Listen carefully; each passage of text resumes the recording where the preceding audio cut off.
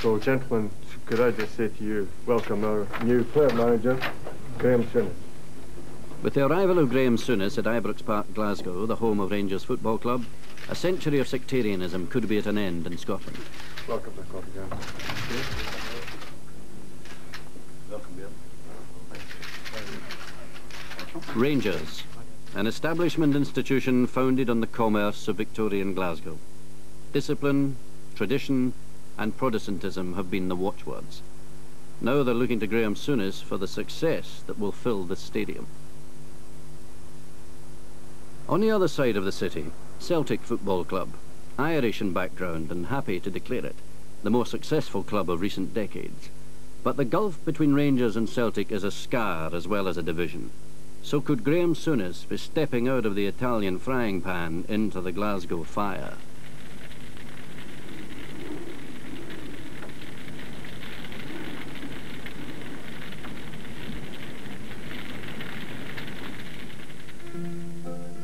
In 1888, Celtic Football Club emerged from the grinding poverty of Glasgow's East End with a specific mission to raise money for the Catholic poor.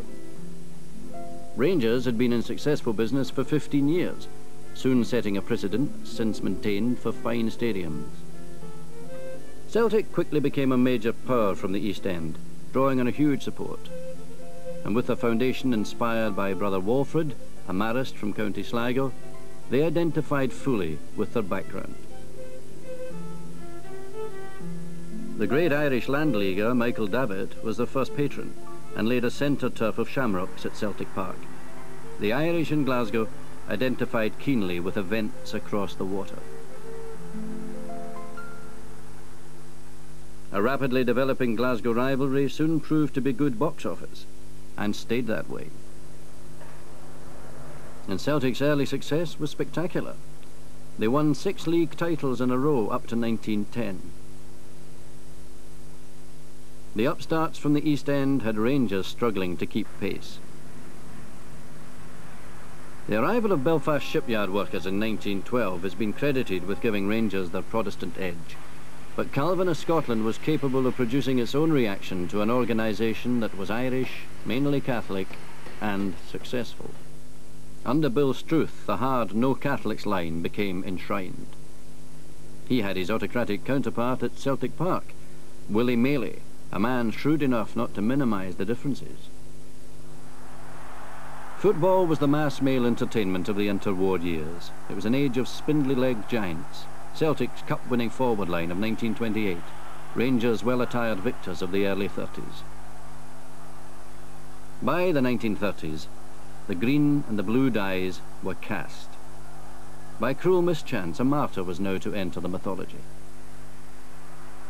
John Thomson, the prince of goalkeepers, young, graceful and infinitely courageous. A dive at the feet of Sam English ended his life and launched the legend.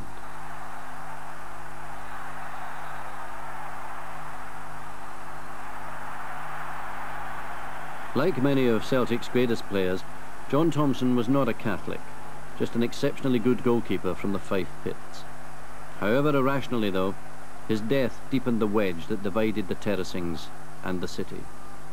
He became a lasting symbol of the old rivalry.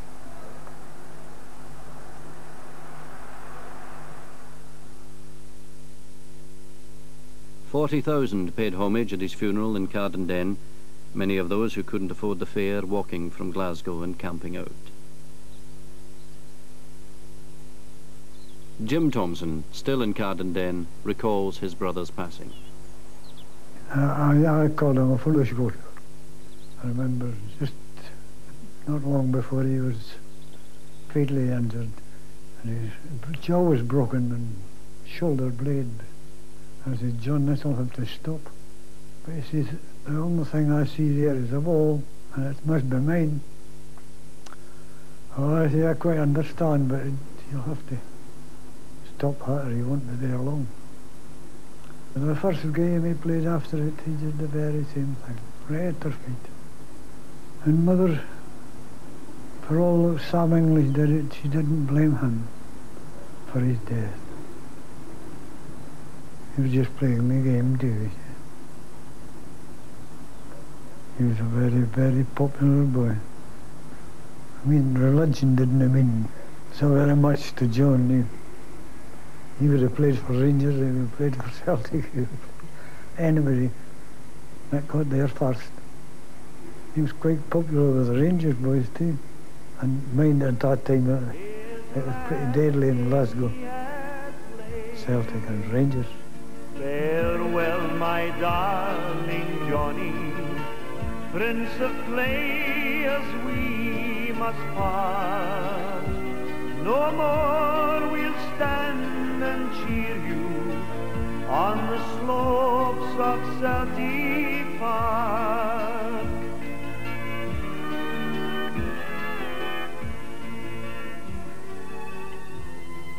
Sam English headed south and never fully recovered from the trauma, particularly from Maley's reluctance to acknowledge that it had been an accident. Rangers taking the 1934 Scottish Cup 5-0 against St Mirren. It was the age of huge crowds, and that meant big business.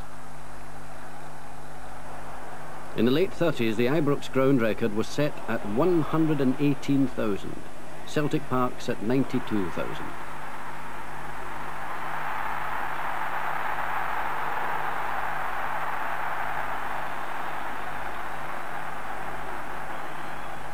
When Celtic ran out to meet Aberdeen in the 1937 Scottish Cup final, there were over 146,000 in Hampden. This really was football in its heyday.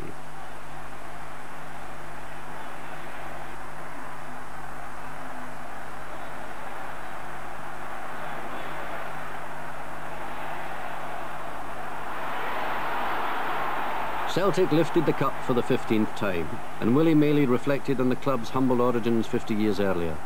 I recall, he wrote, the struggles of our early days, when nothing but dogged determination kept our flag flying. Jimmy McGrory became Celtic's post-war manager, but by that time, the flying of the flag was causing problems. In 1952, Celtic survived an effort to ban them for flying the Irish flag in commemoration of their roots. Rangers supported them, while Hibs, of all people, by that time far removed from their own origins, led the attack. Now, having triumphed in this bitter dispute off the park, Celtic could take special satisfaction from beating Hibs in the UK-wide Coronation Cup final, in these pre-European days the greatest available achievement. Jock Stein shepherded the Celtic defence.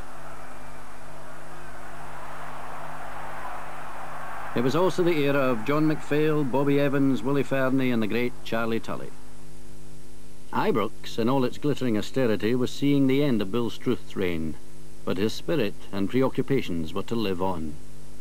He was a, uh, such a powerful man that we all, more or less, uh, behaved ourselves, you know, as much as we could. Uh, you know, late nights and things like that, and boozing and that. That was all in. I've seen many players shaking in their shoes whenever the intercom went and there was somebody to go upstairs. You didn't know what you were going to get. When you're upstairs, it may have been good, it may have been bad news. but uh, with old Bill, there was not really a lot of bad news. It was all for your own good, your own benefit. And it made you a man in life. And uh, I would say here and now that that was one of the main things in these days of Rangers Football Club, that you had first of all had to be a man. I was signed not by Scot Symon in these I was signed as a schoolboy prodigy by the late uh, Bill Struth, which goes quite quite a bit, but I was just a young lad. And we were always brought up in a sense of discipline, you know, such just like your public schools are told, you know, they're well dressed, well mannered, watch where you are because everywhere you go you represent the club, you've got to project the image as such. So there was a strictness and there was a discipline that uh, I think then uh, stays with you throughout your whole life then, you know. Scot Symon, an old Ibrox favourite, had replaced Struth, and he suffered an early 7-1 indignity at Celtic's hands in the 1957 League Cup final. But by the turn of the decade, built around the outstanding talents of Jim Baxter, their best side of the modern era was in place there were no tactics in that. And you just you bought players you're playing four two four. That was the thing. Ian McMillan out in the middle of the park. Now you've got the big Harry and then Greig and that coming out McKinnon and all that. but a great setup. But there were no tactics getting in and we'll go do this. You just done your training. So you went out and played your game and that was it. But you went to Glasgow and the restaurant at all. It was, you know, the best seats and I don't bother about the bill. I wish they would do that now. no, it was great to be a Rangers player at that time. I don't know now how the, the, the thing is, but there's definitely the same adulation as there was in my day. And it's the 65, uh, 60 to 65, the first five years I was at Ibrox, as I said, we're a great team. We're winning everything. I mean, the crowds were 60,000 and that easily. It was, it was fantastic. And the football was great Ian McMillan. I wonder if the likes of Ian McMillan myself would get a kick at the ball now. That's all. Everybody's running about like mad. But I think the 60s teams, you know, uh, what was it again? Niven Shearer or Ritchie Shearer, Caldow, Greig McKinnon, Baxter, Henderson, McMillan, Millar, Brandon, Wilson. I mean, it's a fabulous team. They're not trying to tell me that team playing today when they won that Premier League. They was cushion. The first piece of cup luck to Celtic, who won the toss, so it's Rangers to kick off in this cup final replay at Hampden. Straight away, a foul given against Chalmers of Celtic. Baxter going to take the kick. Crowd of approaching 130,000 here at Hampden. The atmosphere just right for an exciting, tense cup final match. Celtic have put out a short forward line with Bobby Craig the outside right, Murdoch, Hughes, Divers and Chalmers, the rest of the forwards. There's Brand, Ian McMillan, of course, back at inside right for Rangers. Murdoch.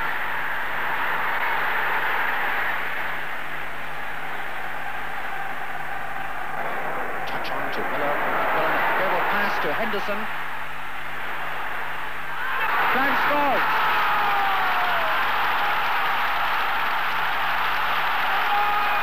Ralph Brand, after eight minutes play, has shot Rangers into a one-goal lead and see the tremendous excitement on the terracing.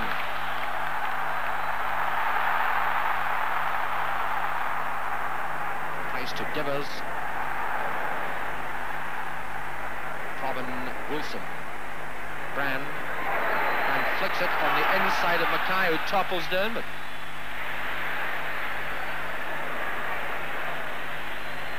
referee judging that Mackay fouled Wilson.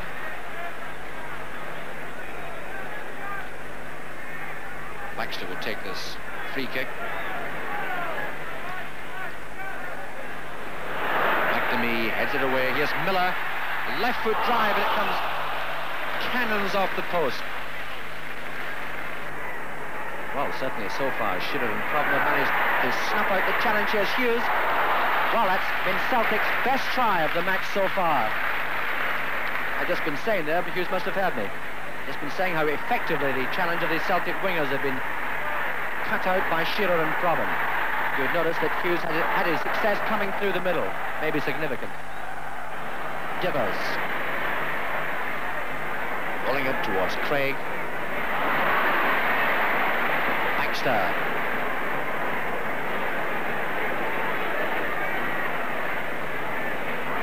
Wilson. Millar. will pass from Millar to Wilson.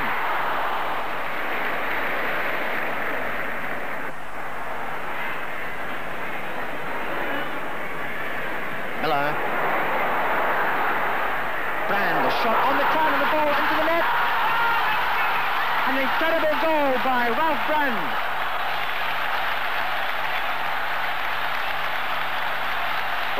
There's such tremendous applause from these packed Hampden terraces because that really was a magnificent shot by Brand. So it now looks certain that Rangers will equal the Scottish Cup record of Celtic by bringing the tally up to 17 here at Hampden Park in this Cup final replay. Oh, I didn't want to leave Rangers. I mean, they were a great club, but they didn't pay the money. And Rangers paid everybody the same. Well, I didn't agree with that. I mean, it's like putting Frank Sinatra on with the Alexander brothers and getting the same money. So Sunderland come up there if you couldn't, I went there.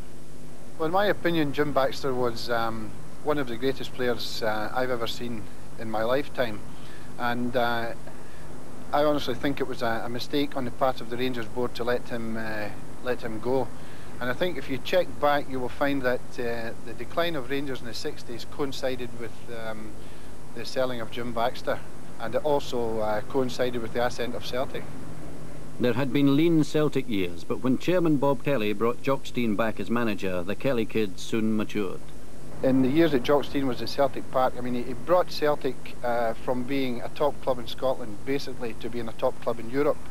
And um, he put in an awful lot of work uh, to that end, albeit he had, uh, he had a lot of good players as well, but um, it's basically a team effort from top to bottom. And he as I say, gelled us all together and got us working as a team. Everything had to be done right. I mean, if we're doing shooting at Barrowfield, and if the goalkeeper blocked it, to kick goalkeeper Bonham into the back of the net, every exercise was finished.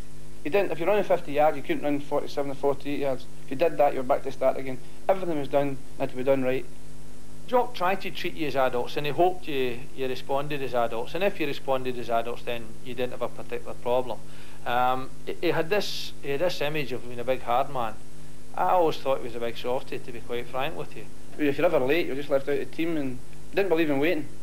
You know, if you, you did everything right, if he's told you that was right, I mean, at Parkhead he was just God, you know, he was, just, he was a man. In 1967, Celtic reached the pinnacle of their history. The club, founded to help the poor and who had retained the loyalties of a ghetto minority, were elevated to the heights of European football. The folk who bore the green and white headed for Lisbon, the incredible had happened. Celtic were in the final of the world's greatest club competition, the European Cup. The whole stage was set for us. We came there and everybody was there, the Celtic support had already been there and they'd influenced the, the Portuguese to such an extent that they started to look for us to win rather than anything else. Inter Milan looked really dangerous here. Cappellini was brought down by Craig. A penalty. With the spot kick, Mazzola made no mistake. And one of the best things that ever happened was the fact that they scored first. Because from then on in, it was just a fierce determination. We, we thought the penalty was very harsh at the time, but, you know, having seen it a hundred times since then on, on tape and, and whatnot, I, I'm inclined to agree the referee was right. But, but at that time, we felt a grievance about it. So from then on in, it was only that absolute determination to see a, a wrong as we felt it put right and I don't think there was ever any other result than the one that was achieved. In fact, I think, to be honest with you, Inter Milan got off very lightly that day. Then fullback Tommy Gemmell shot from 25 yards out.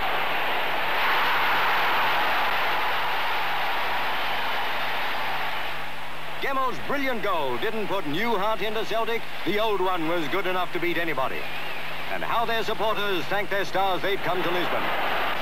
Barely seven minutes from time came the winning goal. Chalmers deflected Murdoch's shot past Sarti.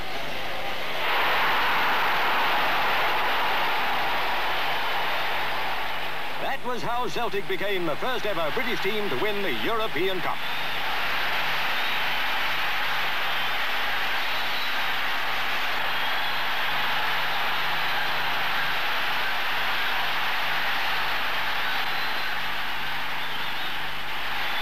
Billy McNeill and his magnificent men earned the thanks and admiration of their native Glasgow, Scotland, and the whole United While Celtic flourished, the rivals had sunk into a rut. In 1967, they suffered a devastating defeat at Berwick in the Scottish Cup, a trauma that had far-reaching consequences. Not least the town of Berwick was subjected to post-match mayhem one in a sequence of such episodes that drew increasing and unwelcome attention to the Ibrox ethos. The man who defied Rangers was a goalkeeper called Jock Wallace. Coupled with Celtic's European success, Berwick served notice that time and football progress were passing Ibrox by. Scot Symon was soon unceremoniously removed. Well, obviously it was a it was a hard time then. I mean, it was a big shock. It was, in fact, it was a disaster really. The only thing, it wasn't a disaster for me because I got my chance to play in the first team. And as I say, it was a time in the club when, uh, after the Berwick game, there was a few players that never played for the club again. There were opportunities for Rangers to change their ways. The 1971 disaster, when 66 people died on Stairway 13 at Ibrox, should have put football in perspective. Glasgow was united in grief. But this moment of ecumenical conciliation proved all too temporary. The European Cup Winners' Cup Final, Barcelona, 1972. Dangerous. Stein. Magnificent goal. Magnificent goal. Comes to Smith. Smith almost overrunning it, but keeping possession nicely. Smith now chopping it across with his left foot. Chance for Johnston. And it's there.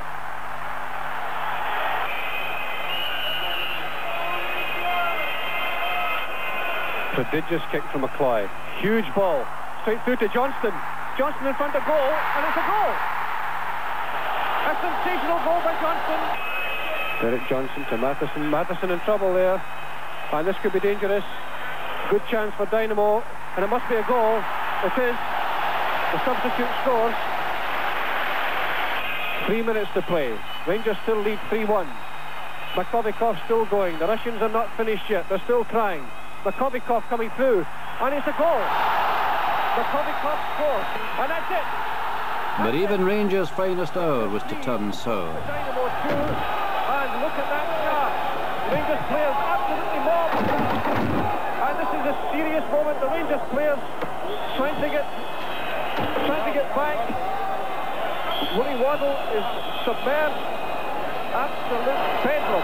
Absolute bedlam. The fans came up the park, as you well know. There was all the problems, and uh, I always visualised winning a European trophy, picking up the cup, and being able to go around the park and show all the supporters. We had travelled halfway over Europe to see it, but I, I walked into a room similar, not not any bigger than this, and there was a big desk, a big table like this, and the UEFA committee sitting at the back of it, and the cup in the middle, and I had my strip and everything on, and just says, right, Rangers Football Club, winners, handed me the cup, and I walked along another corridor, and all the boys were sitting in the bath by the time I got back.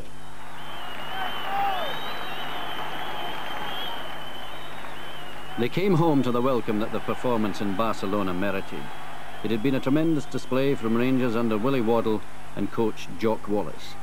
But the violent aftermath ensured that the club once again faced searching questions about the dogma that set them apart.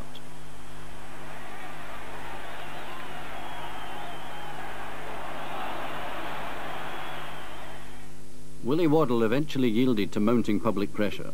He went to the centre circle at Ibrox to tell the faithful that a new era was on hand. Nothing duly happened, except that David Hope was ditched as club chairman amidst questions about his long-dead wife's religion. But there are other special ingredients which keep the old firm turnstiles clicking. The atmosphere. A lot of them used to get sick. I loved it. The bigger the crowd, the better I loved it the atmosphere itself was superb, absolutely superb. Uh, even, I think it even surpassed uh, the atmosphere in a Scotland-England game. The noise was the overwhelming feature. This noise, which was there when you went onto the field and was invariably there all the way through until you come off. And you were aware as a referee that you could blow for an infringement and the players wouldn't hear you. You may have to blow twice or three times, or you may have to blow very loudly. Uh, this um, was always a consideration. But then there was the moments when uh, I remember coming off one day at Celtic Park and um, um, the spectator leaned over the old tunnel and Rangers had won this match and he addressed me in the affectionate manner that spectators always reserve for referees and then told me that wasn't a whistle I should have, it was a flute. I went to play with Sheffield Wednesday for a period of time after uh, Rangers, and we had a derby match there between Sheffield Wednesday and Sheffield United. You know, the fans were getting excited, the press were doing interviews and that. And uh, I was asked, how did it compare with the Rangers and Celtic Old Firm match? I said, like a Sunday school picnic. They've got atmosphere, certainly, the Manchester Derby, but nothing, nothing that would even compare with the, the atmosphere um, that, that, that, an old firm game generates. I think that uh, I don't think there's any. I doubt very much that there's any game in the world would really compare with the atmosphere that's generated between Celtic and Rangers. By the mid 70s, Rangers were successfully challenging Celtic's dominance with two trebles under Jock Wallace. The emergence of a serious challenge from the northeast was still a mere dot on a horizon which the Glasgow clubs dominated. Clean and marked at the far side, Edmondson Headed across by Young. Here's McDonald. Great goal. 21 minutes in the second half. Ali McDonald breaks the deadlock. Rangers lead by one goal to nil. You know, it's one of the few places where you can change your religion every time you go from one end of the football ground to the other. And I've been insulted by experts at both ends of the ground. And uh, um, you are always aware that this is a keenly fought match. But uh, religious aspect or pseudo-religious aspects don't come onto the field of play at all.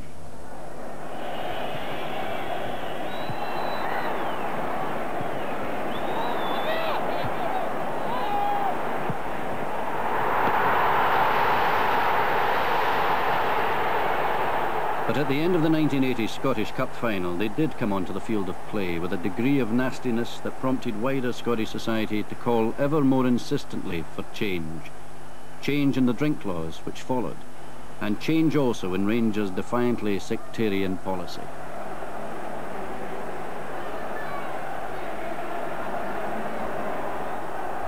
I think the biggest problem of that uh, religious situation is going to be how you break it, how you eventually break the walls. I mean, the, the press and the media bring it up all the time. Uh, and I, I, feel that it might be better if uh, there was six or seven youngsters, 13, 14 year old, signed and allowed to grow into the club uh, and get to know the, they're there as a football player. Uh, let's just go to the top of the tree. You see players like Pelé and Michel Platini you know, uh, if they can't get a game for, and Alfredo Di Stefano and all these guys, if they couldn't pull a Rangers jersey over their shoulder, well, I'll eat my bun You know? Probably I think if it happened, I think it would make Rangers a better team. Although possibly a lot of Rangers fans will disagree with me in that, but I'm just speaking the truth, I feel.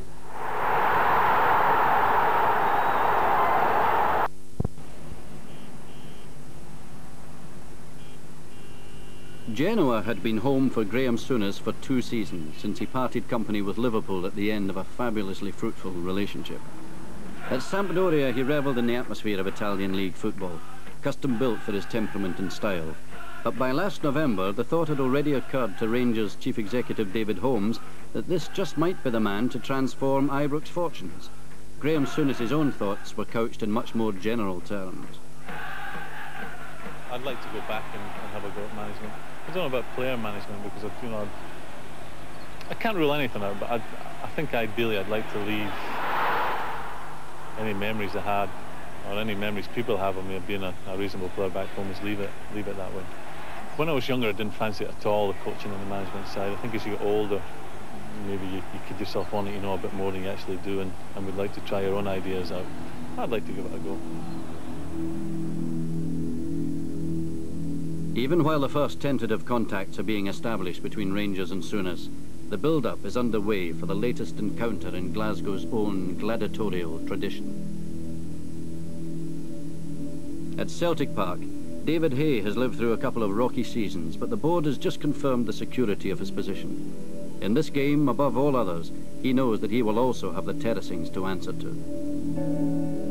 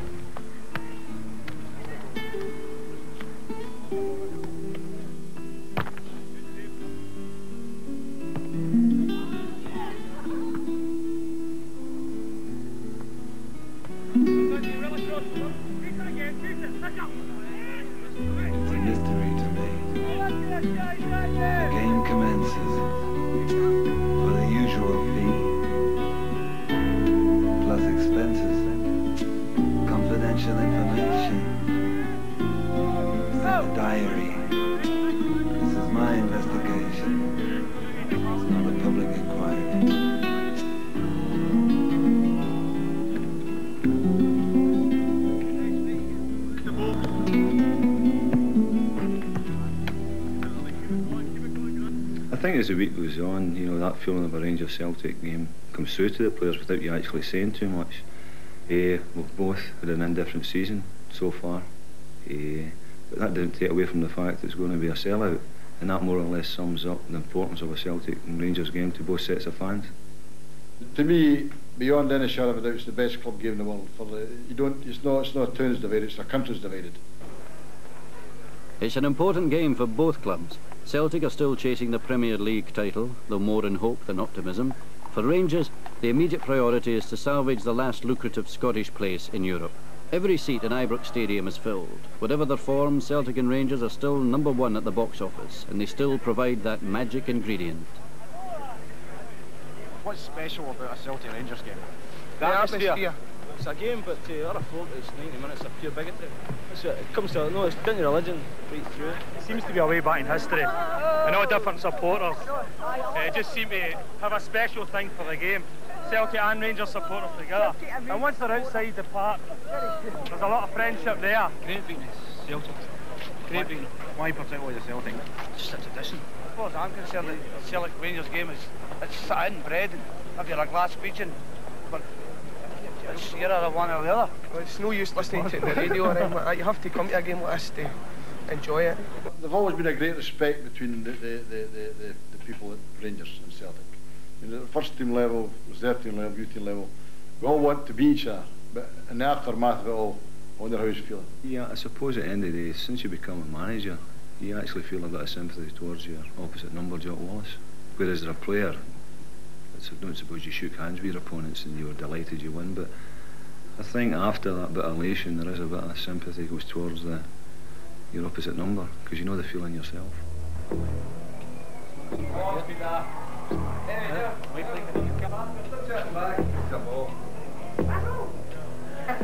I can't answer.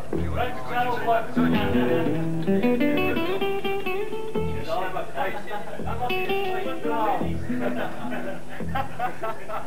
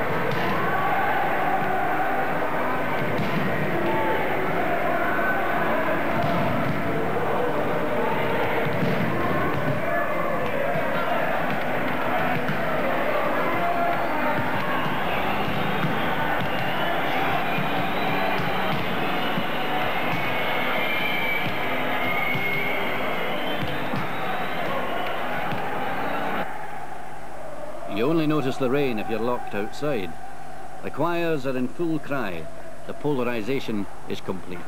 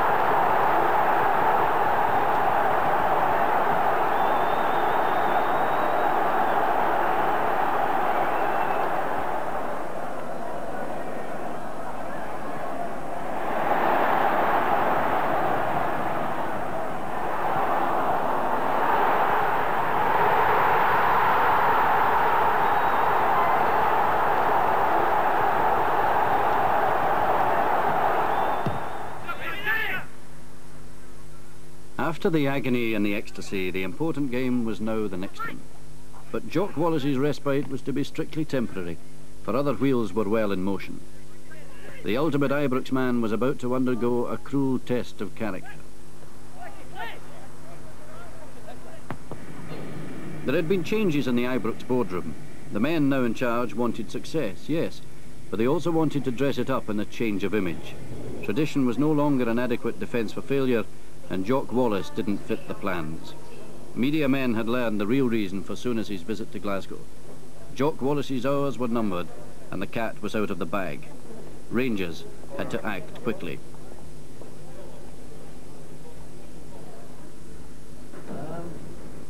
For Wallace, the end came quickly.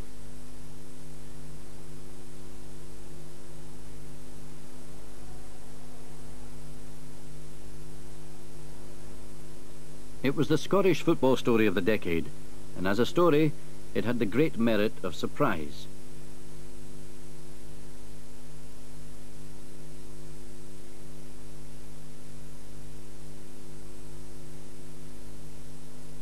But the ink on Graham Souness's contract was hardly dry before the bigger question was being asked around the land.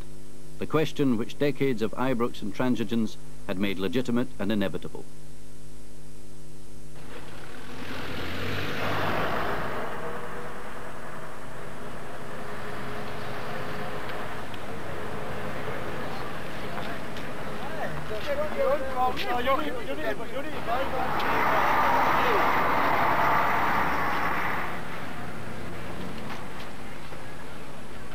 Seventy-two hours after the Souness appointment, and the Ranger support turn out in force at Clydebank for the first opportunity to engage in a debate. Does their satisfaction with the impending arrival of Souness the player and manager outweigh the tribal suspicions about the prospect of Souness the reformer? I think it's the best move Rangers have made in years. I just hope he does the best because you know Graham Souness, he's, everywhere he's went, he's uh, made improvements and he's just been brilliant. So I just hope he makes changes with Rangers. I think Graham Souness will be a good, a good signing for Rangers. And it's stated in the papers, Rangers are expecting success yesterday. I don't believe in that. I think Rangers will get success. Two or three years for Graham to settle in. He's going to take two years to settle in at least. He's an unknown quantity as a manager. He's a rare player. But we're not caring about that as long as he doesn't sign Catholic. Why do you say that? We've went 113 years without him. Why start now? If he signs a, an RC, right, but lose, Rangers will lose a lot of support, it's as easy as that. I'll, I'll not change anything on the terracins. No, we'll still have uh, sectarian songs, we'll still be Protestants. And if these players are, are willing to accept it, by all means, they want to play for the club, let them play for the club. If they score three against Celtic, I'll be happy. Well, as long as a, a Rangers player goes onto the park and plays in a blue shirt and plays for a Rangers team, I don't care who he signs. Well, I'm more excited about Graham Souness possibly the player, what about the manager. But in the long run, I believe it'll be a good move for the Glasgow Rangers. Now we'll be a more European-orientated club. Can only do well. We've got our traditions at Ibrox, and we don't like to see them broke for the sake of one man. Souness or no, we like our own traditions. I think the fans are desperate now for a winning side, and if it has to come down to that, then it'll come down to that. They said that he would sign Catholics, but if I look at big Jock Wallace, he said he would sign Catholics when he first came on, and he never ever do that. I think it's all talk. Best of luck to him if it does. If we get a if it does European it, Cup if it does it, that's it. If it, we win a European Cup, and I'll be the first one to go and support him, right? Uh, but I want to know why all these press men don't get at Celtic for not getting a process director in their box. They don't get at Man It's all the judges got. We've got a world-class player They that don't you get keep bringing in a legend don't of got play. anybody else except us. Only time can tell, I think. You know, you're bringing in another sort of inexperienced manager. It could be a success or it could be a flop. It's just a, it's a gamble I think Rangers are taking, but to me it's a good gamble, you know. And there's another gamble, that there are more folk interested in supporting a winning Rangers team than in its religious makeup. Time alone will tell. Rangers lost this one, 2-1. Tradition seems rather a grand word with which to dignify the 75-year-old practice of not allowing people of a particular religion to play football for you. Is Graham Souness the man to finally lay the religious ghost, while rediscovering the other Ibrox tradition of winning more than the occasional trophy?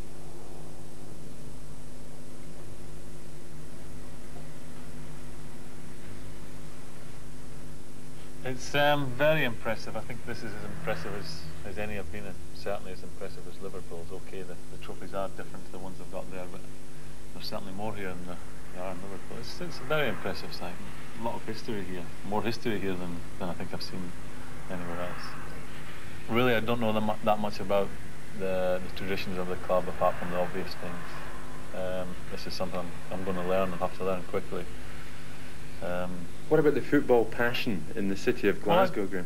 Yeah, that's another thing which I'm going to have to adjust to. Although I played football in, in Liverpool for seven years and it's the same, a big city, big port city divided with, with two great teams. And uh, there was a lot of passion there, but maybe feelings already that there's more here. Um, to begin with, I'm hoping I can give them results, and at the end of the day, maybe two or three years results with, with style and the sort of football I want to, to be part of, both playing and, and watching as a manager. I want to continue playing in midfield for as long as I feel I'm doing a job there because I feel that is my best position. But at the end of the day, if um, I feel like I can no longer do the job as I want to do it, then I'd be looking to, to maybe drop back and play in the defence. I um, but I would love to, after six months of the next season, be able not to include myself because with that many good players here playing well, that'd be a great situation. Are you prepared to play anyone of any religion? I think I've said it all before. I'd just like to to go over it again. The job was offered to me and understanding that the situation would be um, that Catholics were going to be signed if they were good enough to play for Rangers FC. I certainly wouldn't have taken the job under any other circumstances. If they're good enough. I think at the end of the day, Jim, if people, if they're Rangers supporters, and I mean Rangers supporters, not people who've got, um, are using the club as some sort of vehicle for, for anything else. Um, if they want, if they're a Rangers supporter, they want to see the team winning. That's all that matters. That's all that should matter. And uh, I shall give them, I shall try and give them that. And if that means signing Catholics and upsetting people, I shall do that. If it means getting a winning team, because at the end of the day, that's what I've been brought here for. That's all I'm interested in is winning. Some Rangers supporters say they won't come and watch Rangers if Graham Souness signs a Catholic. Um, well, I'm sorry to hear that, but at the end of the day, I think it's the only way forward. Look at the way the club's gone over the last, in recent years anyway, let's not put a, a figure on it, but in recent years. And I don't think this issue has helped the club in any way. And I think um, the quicker we get rid of that, then we can make this big step forward and hopefully put Rangers where they should be as the premier club in, in Scotland and maybe one day the premier club in Great Britain. If Glasgow is going to project itself as to be an international city of the future, we really have to try and look at the sectarianism um, in a broader field. Now, Graham Souness has already said, and I understand that the Rangers chief executive and people have said that Graham Souness will be able to sign whoever he wants, and it will be his football ability that will determine that. Now, at the time when I nominated and moved Kenny Dalglish as a freeman of the city of Glasgow, one of the things that I said was that Kenny Dalglish was able to cross the bridge that was supposed to exist in Glasgow. You know, Kenny Dalglish was a, a well-known Rangers supporter as a youth and became a very successful professional footballer for Celtic. So, I mean, if, if Graham Souness, and I have no reason to doubt his sincerity when he said that he will sign whoever it is, it's their football ability. If Graham Souness is able to sign and get rid of this apparent tradition that exists at Ibrox of not having any Catholic working for them or playing for them, if Graham Souness can overcome that, then he will help the Glasgow of the future. We'll be able then to project to the world that different barriers we have, different religions we have, different communities we have in Glasgow, but we can still all work with each other for the common good. You've never seen an Old Firm game then. What have you been told about those games? Well, I, obviously Kenny Dalglish has told me a great deal about them. I think he he would say that they're even bigger than the Everton Liverpool one. There's more passion involved. I um, I'm looking forward to it, Jim. I'm looking forward to watching them, but first I'm looking forward to playing them.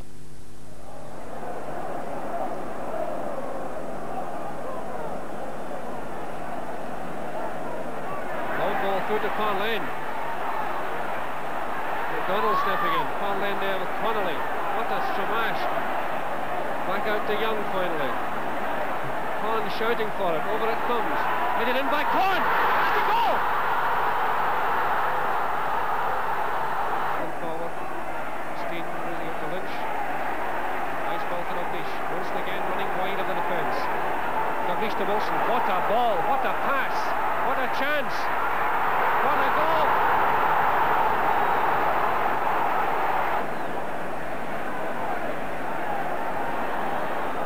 ball bending out the way. Colin Jackson under it.